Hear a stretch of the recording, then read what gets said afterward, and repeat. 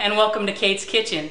Tonight I've got my guest, my friend Margaret, and we are going to make homemade personal size Mm. pizza. Wow. And I've made homemade pizza dough to go with it. We're going to make homemade pizza dough, so it's going to be fun. Yummy. I can't wait.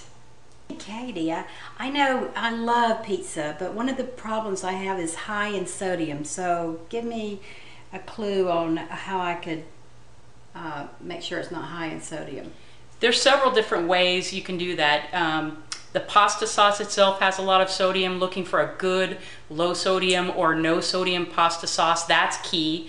Um, the crust, the pizza dough itself can have a lot of sodium in it. So it really depends on if you're doing store-bought, uh, start with flatbread, or are you going to make your own dough? If you make your own dough, you can eliminate sodium.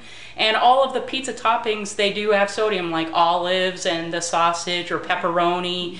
Um, even the cheese is high in sodium. So you really need to kind of watch each ingredient. Okay.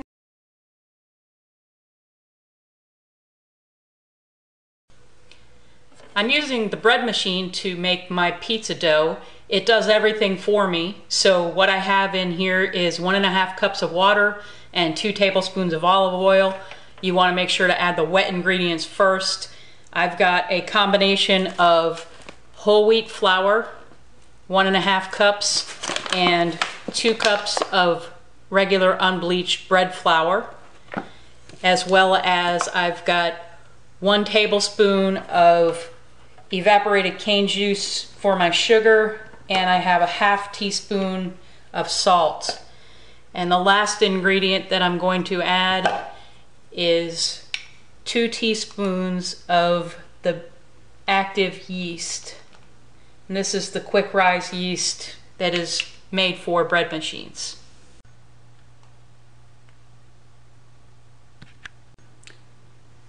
I set the bread machine on the proper cycle and the bread machine will do the work. It is going to knead the dough and let it rise and it will beep when it's all done.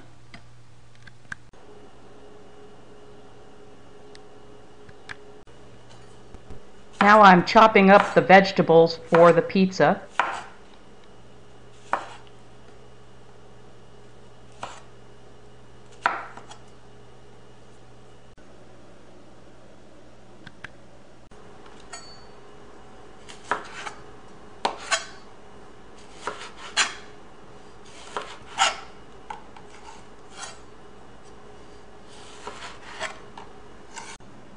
Fresh homegrown tomato. I like to put all of the toppings into a divided bowl. This way they're easy to reach and add to the pizza and you can also use these when you're adding them to your salad.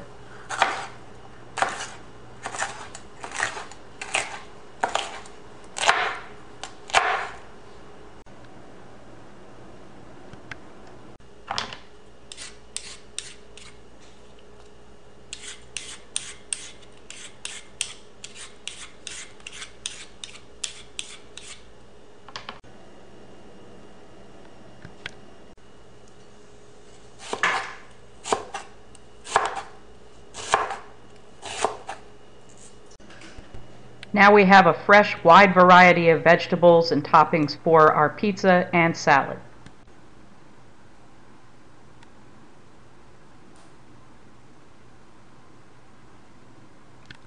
When it comes to pizza sauce, what I like to do is use pasta sauce that's already in a jar. And my favorite line is the Mont Bene Farms. They have a wide variety of flavors, no sugar added, and they are relatively low in sodium. Tomato uh, pasta sauce can be very high in sodium. You need to really look at the labels and be very careful. This, for a half cup serving, is 191 milligrams of sodium. Another good alternative is Sprouts has a line, if you've got a Sprouts in your area, Sprouts has a line of no sodium pasta sauce. Where you get your flavor, you're gonna add your fresh basil and oregano, your garlic, and all of the extra things. Plus, pizza toppings themselves generally have a lot of sodium. You don't need sodium in your pasta sauce. And a third option is using Muir Glen organic no salt added tomato sauce. It comes in a can. Um, I've seen it around several different grocery stores around here. Probably you can find it in your area, but again, depending on which type of pizza dough that I'm using will depend on which pasta sauce that I use.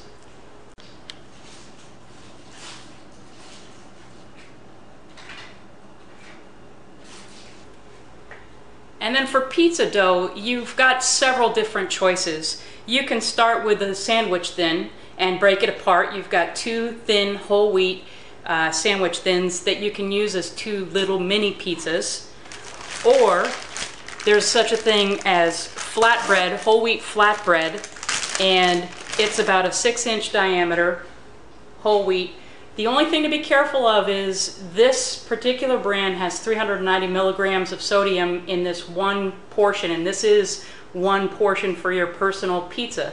So with the pizza toppings and the pasta sauce, it adds up very quickly. You want to try to minimize your sodium count and have under 700 milligrams for any one given meal.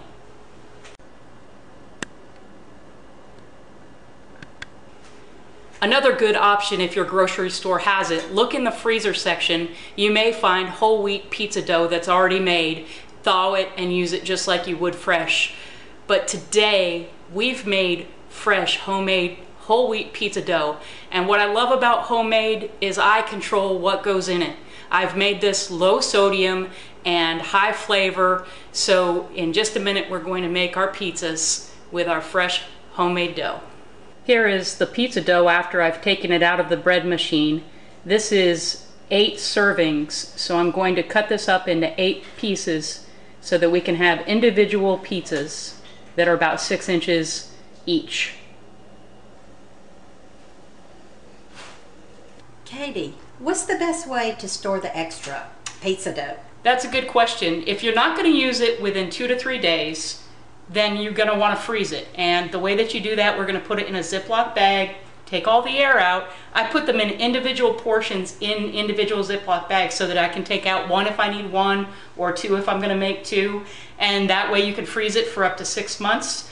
Or if you're going to plan to use it within two to three days, put it in that same Ziploc bag, take all the air out, and put it in your refrigerator. Oh, okay, great. Oh, oh, I love it. I love it. So you take the individual dough and you put it in the Ziploc bag. You seal it all the way across except for one inch. And then just roll that, push the air out, and seal that last bit. Now these are good to go in the freezer or in the refrigerator just like that. Taking the dough and just making six inch or so diameter it doesn't have to be exactly round. These are personal pizzas so they can have their own personal flair. Just stretch them out. You don't want to have anything go through. So now our pizza dough is ready to go in the oven. I've preheated the oven. It just went off 400 degrees and I'm going to let those bake for about 10 minutes before we put the sauce and the toppings on. So these are really hot. They just came out of the oven. They've been in there for 10 minutes. They're not baked all the way through, but I'm using about a quarter of a cup of the pasta sauce. And I'll let you come and do yours after.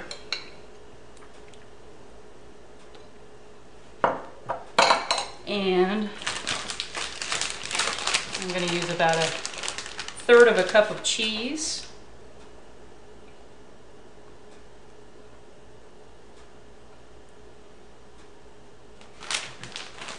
I like mushrooms.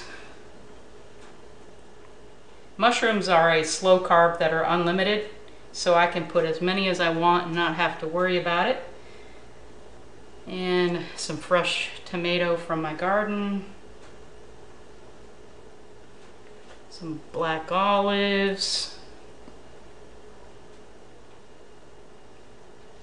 A little bit of green olives. I'm going to put some fresh basil from my garden. All of this freshness, it really makes the pizza great. And put some red onion. These are all slow carbs.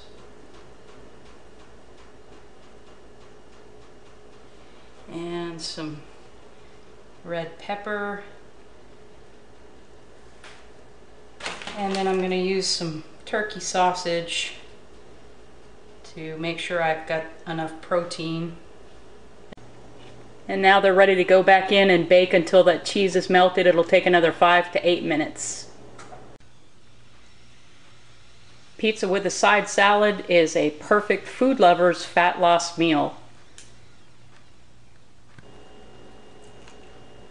Mmm, mmm, mmm, Katie, this is heavenly. Mmm, the cheese, oh, the fresh tomatoes, the cheese, the the dough, the pizza. Oh, the pizza dough is awesome. I love it. Mmm.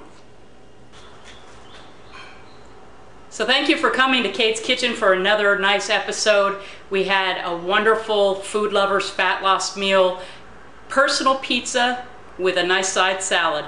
Come back next time. I'm looking forward to cooking with you.